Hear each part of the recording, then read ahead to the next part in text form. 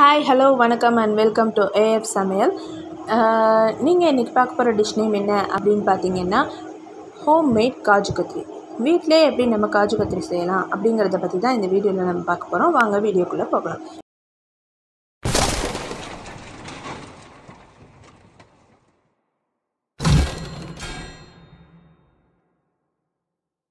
இதுக்கு நான் one cup பாதாம் எடுத்திருக்கேன்.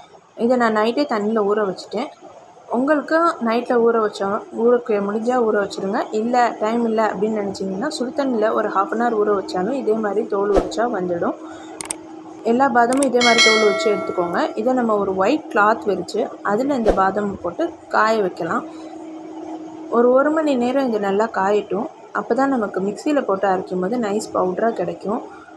அதனால் நல்லா ஃபேன் காற்றுலேயே இதை ஒரு ஒரு மணி நேரம் காய வச்சுடுங்க இங்கே பாருங்கள் நல்லா காஞ்சிருச்சு. இப்போ இதை நம்ம மிக்சியோடு சேர்த்து ஆட் பண்ணிக்கலாம். மிக்சியில் ஆட் பண்ணி நல்லா அரைச்சி எடுத்துக்கலாம். மிக்சியில் போட்டு அரைக்கும் பொழுது ஃபுல் ஸ்பீடில் வச்சு அரைச்சிடாதீங்க. அப்புறம் பாதாம்லேருந்து ஒரு எண்ணெய் பசங்க மாதிரி வர ஆரம்பிச்சிடும். அப்படி அரைக்காமல் கொஞ்சம் கொஞ்சமாக விட்டு விட்டு அரைச்சிங்கன்னா நைஸ் பவுடராக கிடைக்கும் நமக்கு. இங்கே பாருங்கள் இதே மாதிரி நைஸாக அரைச்சி எடுத்துக்கோங்க. அப்போ தான் இந்த மாதிரி உதிரி உதிரியாக வரும். அடுத்து நம்ம ஒரு கப் பாதாமுக்கு ஹாஃப் கப் சுகர் எடுத்திங்கன்னா போதுமானது. அதுதான் சரியான அளவும் கூட. ஸோ ஒரு கப் பாதாமுக்கு ஹாஃப் கப் சுகர் எடுத்துக்கோங்க. இப்போ அடுப்பில் கடாய் வச்சு அதில் ஒரு ஹாஃப் கப் சுகரை போட்டு அரை கப் சுகருக்கு கா கப் தண்ணி விட்டிங்கன்னா போதும். போட்டு அந்த தண்ணியில் சுகர் நல்லா கரையட்டும். கரைஞ்சி நல்லா கொதித்து வரட்டும். அது வரைக்கும் வெயிட் பண்ணுங்க.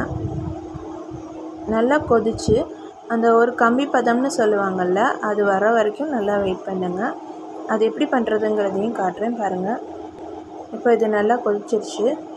இதில் இப்போ கை வச்சு பார்த்தீங்கன்னா இங்கே பாருங்கள் இப்போ ஒரு கம்பி மாதிரி ஒன்று க்ரியேட் ஆகுது பாருங்கள் இதுதான் சரியான ரேஷியோ இந்த டைமில் வந்துட்டு நம்ம அந்த அரைச்சி வச்ச பாதாம் பவுடர் இருக்குல்ல அதை வந்துட்டு கொஞ்சம் கொஞ்சமாக நம்ம மிக்ஸ் பண்ண ஸ்டார்ட் பண்ணலாம்.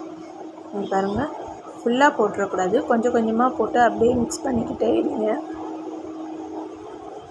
எல்லா பாதாம் பவுடரையும் போட்டு நல்லா மிக்ஸ் பண்ணிக்கோங்க. இங்கே பாருங்கள் அந்த சர்க்கரை பாகோட எல்லா பாதாம் பவுடரும் நல்லா மிக்ஸ் ஆகணும். அதனால் நல்லா கிண்டிக்கிட்டே இருக்கணும். கட்டி விழுகாமல் நல்லா நைஸாக கிண்டிக்கிட்டே இருங்க. எல்லா பக்கமும் நல்லா பெரட்டி விடுங்க. அப்போ தான் நல்லாயிருக்கும் அப்புறம் இதில் ஒரு ரெண்டு டேபிள் ஸ்பூன் அளவு நெய் போடுறேன். இப்போ தான் இன்னும் டேஸ்ட்டு கொடுக்கும் உங்களுக்கு.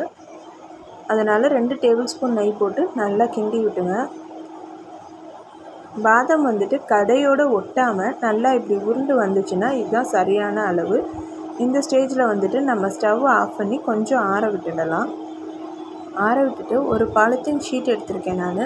உங்கள்கிட்ட பட்டர் பேப்பர் இருந்துச்சுன்னா அதை எடுத்துக்கோங்க. பட்டர் ஷீட்டில் நீங்கள் செஞ்சுக்கலாம். என்கிட்ட பட்டர் ஷீட் இல்லைன்றதுனால நான் இந்த ஷீட்டில் போட்டு கை பொறுக்கிற அளவு சூடு இருக்கும்போது நல்லா மசிச்சு விடுங்க. எல்லா பக்கமும் நல்லா மடித்து விட்டு நல்லா மசிச்சு விடுங்க. அந்த சூட்லேயே செஞ்சால் தான் வந்துட்டு நல்லா சாஃப்ட்னஸ் கொடுக்கும். அதுக்காக தான் இது செய்கிறோம் நல்லா எல்லா பக்கமும் நல்லா மடித்து விடுங்க. நல்லா மடித்து விட்டுட்டு நம்மக்கிட்ட சப்பாத்தி உருட்டுற கட்டை இருக்கும்ல அந்த கட்டையை வச்சு நல்லா தேய்ச்சி விடுங்க.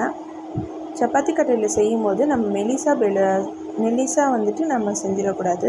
கொஞ்சம் மொத்தமாக வச்சுக்கோங்க. அப்போ தான் கட் பண்ணி பீசஸ் போடும்போது அழகாக இருக்கும் பார்க்க. ஸோ இது இப்படி பண்ணிவிட்டு ஆற விட்டுடலாம். இப்போ பாருங்கள் நல்லா ஆறிடுச்சு. இப்போ நம்ம இதை பீசஸ் போடலாம். நான் வந்துட்டு டைமண்ட் ஷேப் தான் போட போகிறேன் நீங்கள் உங்களுக்கு பிடிச்ச மாதிரி எந்த ஷேப் வேணாலும் போட்டுக்கோங்க. ஃபஸ்ட்டு இந்த ஓரத்தெல்லாம் கட் பண்ணிவிட்டு அப்புறமா நம்ம பீசஸ் போட ஸ்டார்ட் பண்ணலாம். நான் இப்போ உங்களுக்கு பீசஸ் போட்டு காட்டுறேன் பாருங்கள் எவ்வளோ அழகாக வந்திருக்குன்னு. ஒரு கப் பாதாமுக்கு எனக்கு இவ்வளோ பீசஸ் கிடச்சிருக்கு. ஸோ ட்ரை பண்ணி பாருங்கள் நீங்களும். நல்லாயிருக்கும் நம்ம வீட்டில் செஞ்சதுன்னு சொன்னால் யாருமே நம்ப மாட்டாங்க. அந்த அளவுக்கு டேஸ்ட்டாகவும் இருக்கும். இதை பாருங்கள் நல்லா சாஃப்டாக இருக்குது அழகாகவும் இருக்குது பார்க்க. சின்ன பிள்ளைங்கள்லேருந்து பெரியவங்க வரைக்கும் எல்லாருக்குமே பிடிக்கும். ரொம்ப விரும்பி சாப்பிடுவாங்க. நீங்களும் வீட்டில் ட்ரை பண்ணி பாருங்கள் இதே மாதிரி. உங்கள் உங்களுக்கும் பிடிக்கும்.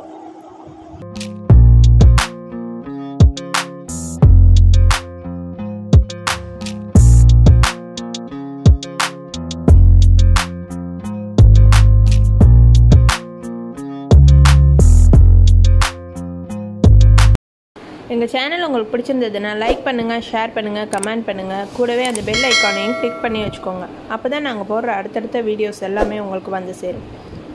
தேங்க்யூ